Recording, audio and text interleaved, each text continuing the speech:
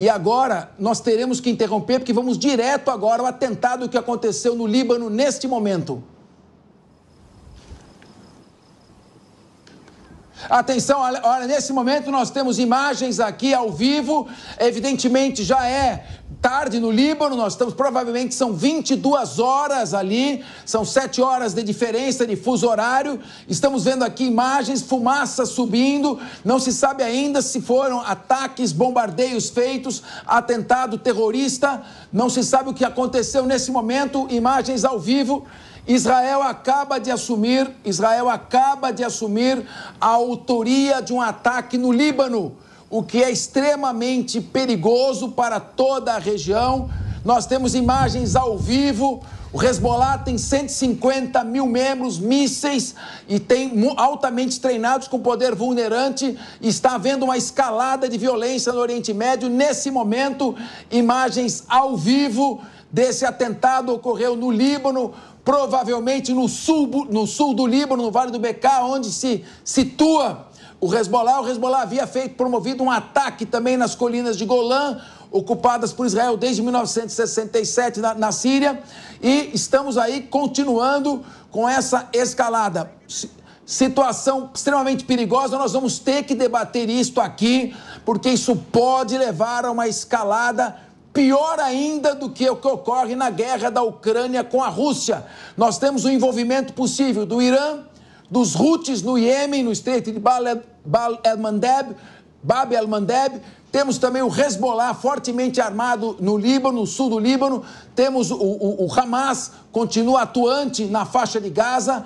Uma guerra total que está sendo travada. E, e, e Recep Erdogan, o presidente da Turquia, ameaçando invadir Israel pode ocorrer novamente, somado com a guerra da Rússia contra a Ucrânia, uma escalada perigosa em nível mundial. Eu quero ouvir Felipe Monteiro.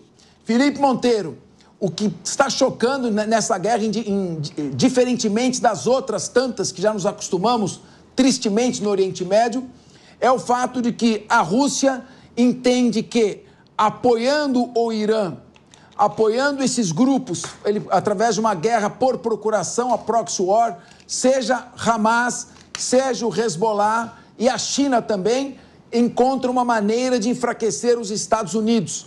Essa, essa nova tendência do século XXI, que é a proxy war, a guerra por procuração, que a OTAN trava contra a Rússia dentro da, através da Ucrânia e que a Rússia começa a travar contra os Estados Unidos usando esses grupos, pode trazer uma preocupação adicional nesse conflito sangrento e de quase 80 anos do Oriente Médio. Felipe Monteiro, a sua análise nesse momento, quando temos imagens ao vivo do Líbano, atentado ocorrido. É, infelizmente, Capês, não é novidade quando a gente vê esse tipo de imagem naquela região. É o norte de Israel, é o sul do Líbano, é onde está o Hezbollah, tem diversos conflitos né, o ano todo. E, infelizmente, é, o Hezbollah assumiu aquele atentado que teve na colina de Golã, que matou inúmeras crianças, né? Foram 10 crianças, né, Capete? 12 crianças, não lembro agora 12. o número exato. 12 de crianças que morreram, 12 que estavam jogando futebol, momento de lazer.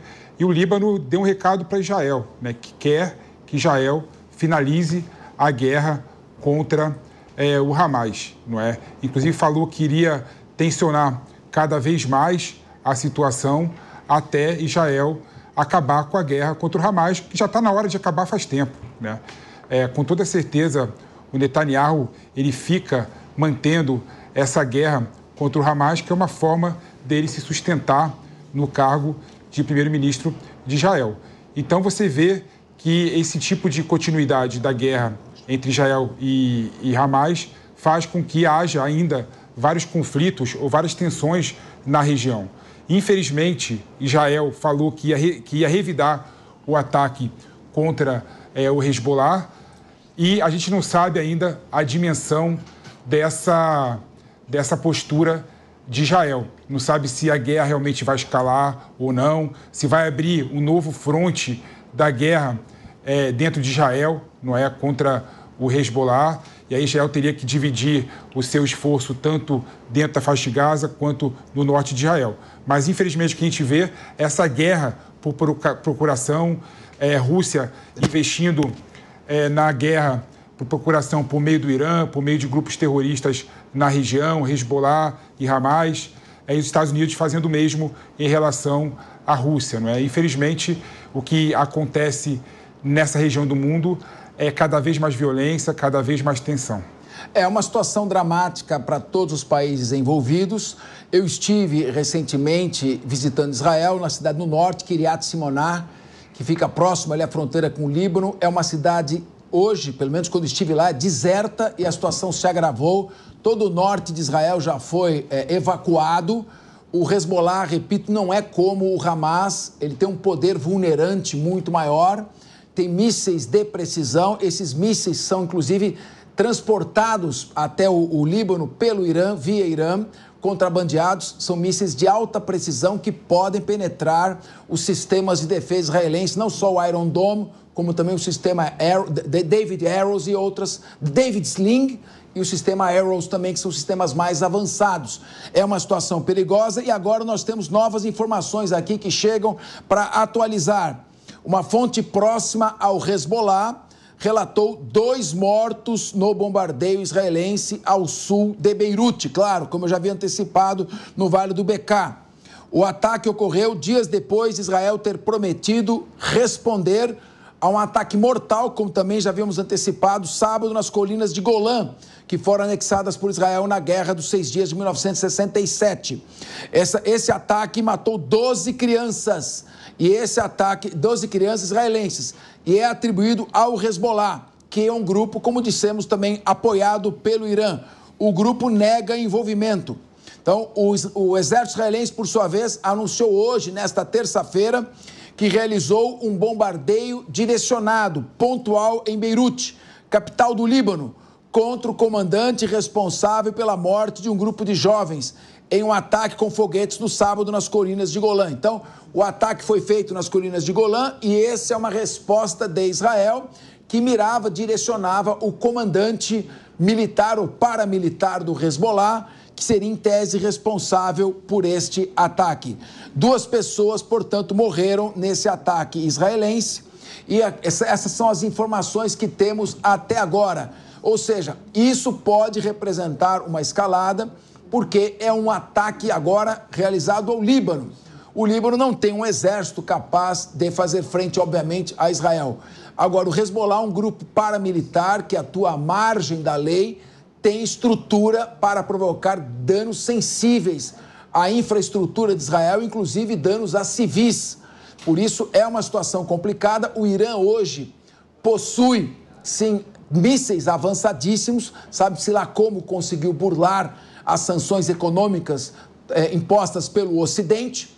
Nós temos o Irã com essa capacidade vulnerante, numa aliança agora clara com a Rússia, a China atuando discretamente, em silêncio, no suporte a, esses, a, a essa aliança. Portanto, vai se construindo um cenário de guerra total, muito perigoso, muito preocupante. Vamos lembrar que no ataque feito pelo Irã, contra Israel, dentro do território israelense, foram enviados mísseis mais antigos e foi avisado os pontos em que seriam atacados. O Irã tem também capacidade vulnerante, é claro, Israel tem armas atômicas e uma grande capacidade militar de responder, mas é uma guerra travada em diferentes frentes. Eu queria ouvir o Emerson Tawil, nós vamos aqui repercutindo toda essa situação que ocorre Repito, situação extremamente preocupante. Não é um assunto que está lá do outro lado do mundo. É um assunto que repercute aqui do ponto de vista econômico, político e não se sabe ainda qual a extensão que isto pode ter. Meu querido Emerson Tawil, a sua fala, enquanto assistimos aí um ataque no Líbano que pode inaugurar uma nova fase mais agressiva desse confronto louco hediondo que começou com o um ataque terrorista de 7 de outubro praticado pelo Hamas no qual morreram 1.200 é, é, israelenses, a maioria deles civis que estavam se divertindo numa rave. Quero te ouvir. Tudo bem, Capês. Em verdade, como você disse, é, esse ataque faz eco no mundo todo. A economia, né, as alianças que existem entre outros países e, sem dúvida, a retaliação de Israel a, ao grupo do Hezbollah traz reflexos aí preocupantes para o mundo todo. Como você disse, essa linha tênue que sempre estão avançando, um dia pode resultar em uma catástrofe muito maior do que essa que a gente tem presenciado. Duas pessoas morreram nesse ataque, até as segundas informações, e seria uma retaliação, né? Aquela que teve a colina de Golã, que 12 crianças, infelizmente, tiveram sua vida ceifada. É muito preocupante é, é, um caso delicado em que as autoridades do mundo, né, as, as maiores potências, devem fazer uma intercessão sobre isso, porque pode tomar uma proporção muito maior. Como você disse, o grupo Hezbollah tem um. Emerson Tawil, Tawil, só para você estar tá com a palavra, esta é uma imagem recuperada, Tawil, enquanto você fala do momento em que ocorreu o ataque em Beirute, capital do Líbano. Um bombardeio, claro, foi um ataque direcionado mas é claro, morreram aí duas pessoas e, evidentemente, esse ataque fará com que o Hezbollah promova um contra-ataque. E a situação vai numa escalada que não se sabe aonde pode chegar. É, significa que agora o Hezbollah está oficialmente numa guerra direta contra Israel e não apenas o Hamas. Lembrando também que os Houthis, o grupo terrorista que atua no Iêmen e parou completamente o tráfico marítimo no Mar Vermelho, promovendo, portanto, uma grande crise econômica com o aumento do preço do frete, está promovendo bombardeios dentro de Israel também. A palavra está com você, Emerson Tawil, momento em que imagens ao vivo, re, eh, perdão, recuperadas do momento do ataque eh, em Beirute, no Líbano. Vai você, Emerson Tawil. Imagens lamentáveis, meu amigo. É, veja só, grande preocupação isso traz a nós e ao mundo todo porque infelizmente os líderes né, desses grupos é, criminosos eles, eles ficam justamente inseridos dentro das pessoas comuns. E aí, para se atingir esse líder, infelizmente, pessoas civis acabam pagando um preço muito caro com isso. E isso causa uma comoção muito maior e pode trazer consequências trágicas, não só pelo bombardeio, mas pelas consequências diplomáticas que podem acontecer daí por diante. Nós temos, daqui a pouco vão entrar imagens, ambulâncias e se encontram no local em que houve o ataque, nos subúrbios do sul de Beirute. Imagens estão sendo transmitidas diretamente do local após um ataque aéreo israelense que teve como alvo um ataque pontual, um alvo, o alto comando do Hezbollah localizado nos subúrbios do sul de Beirute, não né, no sul do Líbano, no Vale do Becar, no sul de Beirute.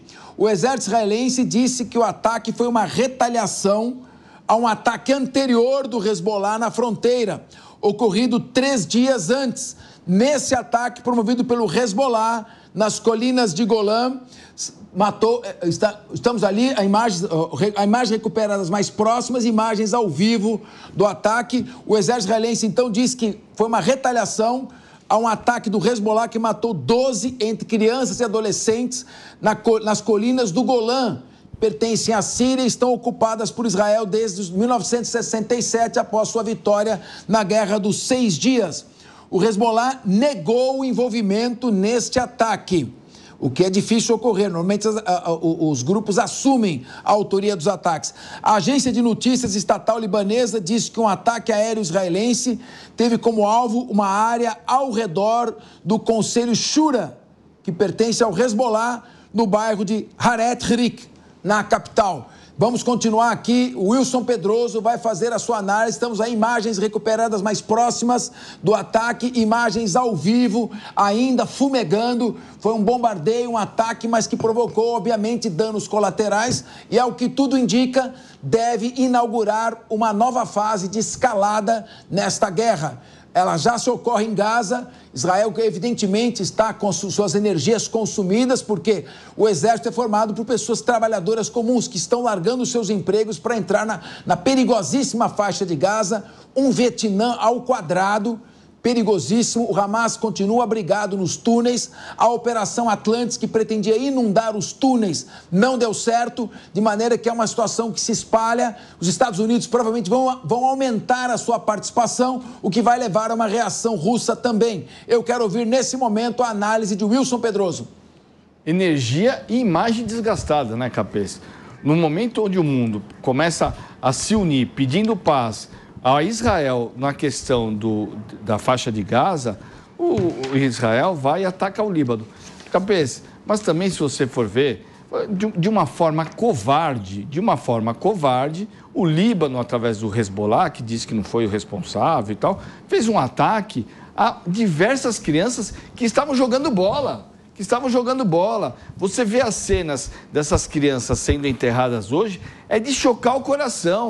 E ele foi lá e revidou. Foi lá e revidou. Não sou a favor da guerra, mas acho também que as pessoas têm que toda ação, como diz, diz o pai do, do, Diego, ele gosta de falar, toda ação tem uma reação. Toda ação tem uma reação. E essa foi a reação de Israel. Concordar é outros 500. Acho que nós estamos num momento muito ruim de relações entre países naquela região.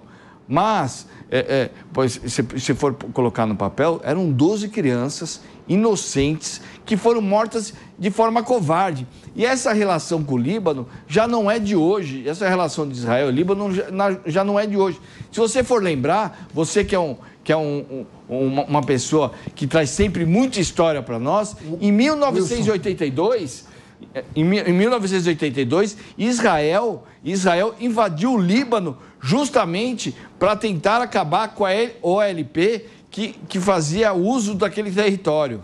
Exatamente. O que, se, o que se revelou um erro, Israel teve que abandonar em 2006. A gente espera que a situação acomode. E o Hezbollah é um grupo paramilitar, não se confunde com o governo do Líbano, muitas vezes até vítima do Hezbollah.